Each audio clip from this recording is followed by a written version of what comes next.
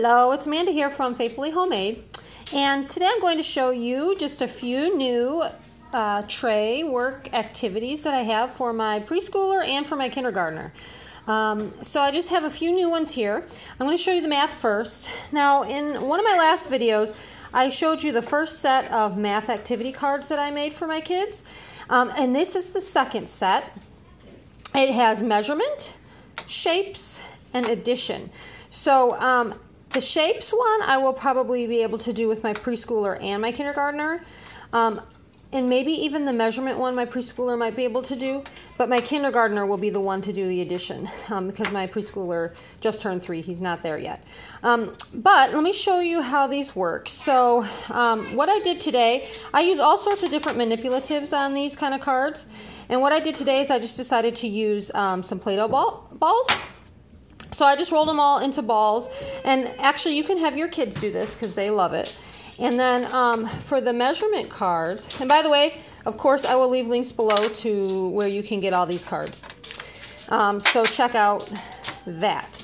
But, so for the measurement cards, he's just basically going to look at the card and count how many, how long it is. So it's one, two, three, four, blocks long. So he's going to take his Play-Doh ball and he will put it on the four. Then we will do the next card. How long is the die? Is the die? One, two. It's too long. And he will cover up his answer. Okay, so he will continue on like that.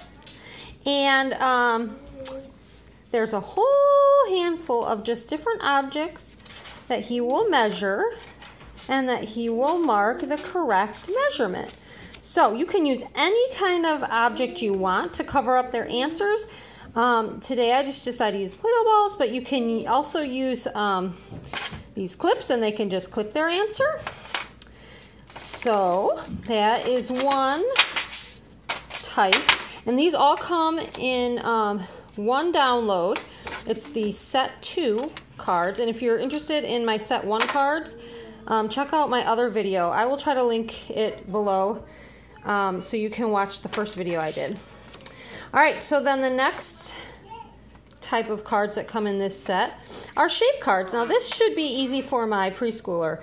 What I'm going to have him do is basically he just has to find the shape. So what shape is he holding? And he's going to look down here and he's going to cover up this shape and then I'm going to say rectangle. That's a rectangle. So he's going to match it up, but then we're going to talk about what the name of the shape is just to kind of reinforce the different names of the shapes. He knows most of the basic ones, like he knows heart, he knows square, but it's just a fun way to reinforce that. So when he does this, you know, um, say, okay, find the shape that matches. He will cover it up and then we will say square. That's a square. Square has four sides. And we'll count the sides and so on. Um, some of them are harder than others. We've got oval in there, star, diamond, you know. So some of them are harder than others, but, you know, because we've got like hexagons and trapezoids and octagons and hexagons and all that kind of good stuff, pentagons. So um, that is that set, is shapes. And then this set I will have my kindergartner do these. And these I thought were really kind of fun. So basically for these, it's just addition. So he will count the gumballs. So basically, right here we see one, two, three, four, five, six, seven, plus one equals, and then he will have to count seven, eight, and then he will cover up eight. And then we will just continue on like so.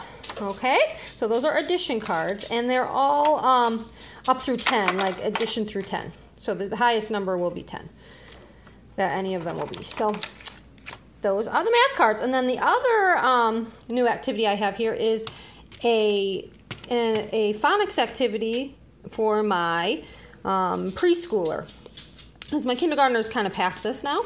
But you can get this also off my website. I will leave a link below where you can get it. And I made this one a winter theme. So here you can see I have just a penguin, there's a little winter polar bear, some winter peng uh, winter snowman, another one with a snowman, snowman, and little bear, and then what is the other one? And little monsters with snow. So um, there's two different types of games they can play with this. So the first one is, and this time instead of using the Play-Doh balls, I just have these little gems because I thought they kind of look like ice. So I thought it make make it a little bit more fun for winter. And this one, like I said, has a winter theme to it. I'm gonna make some more uh, games like this too, and I might make my next one might be like a Valentine's Day game, and um, I might make some different ones. But anyway, it comes with these um, mats that you saw, and it also comes with um, alphabet cards with the lowercase letter on them, and it also comes with the alphabet cards, just the pictures. And here's how. Whoop, there's one upside down. Here's how. Um, some of them are upside down. Uh, you use them. So Okay. All right, with the first few mats that look like this that have the capital letters on them, what they're going to do is they are going to use the cards with the lowercase letters and they're going to match. So he's going to pick a card. And the first card is R, and I will say R, er, er, ring. R says er, er, ring. Can you find capital R? And he's going to look at his mat. He's going to take a gem, and he's going to cover up capital R. Very good. Let's try another one. That's P. P says p, p, pig. Now remember, he just turned three, so I'm going to have to tell him the sounds and re remind him. P says p, p, pig. Can you find capital P? He's going to look around on his mat and he's going to find capital P and cover it up. And we'll just keep going like that. And then he'll find S. Can you find capital S? So these are all the lowercase letters, and then they have to match up the uppercase letters. So that is that game, and he can use that for, he can do that for this mat, this mat, this mat. Now, these last mats have both capital and lowercase letters on them. So for these ones, what he's going to do is he's going to use these cards. And he's going to practice beginning sounds. So what he will do with this is I will show him a card, or he will he will take a card. The first card here is a mitten. Mitten says mm mm. Can you find the letter that says mm mm? And he is going to find and cover up the M. Very good. All right, next one is octopus. Octopus says ah ah. Can you find the letter that says ah ah? And it has, and the reason I did capital and lowercase on here was so that they could associate both letters with the same sound. So um, that's what he will use these cards for. Nest, mm, mm. Nest says mm, mm. Can you find the letter that says mm? And that's what he will do.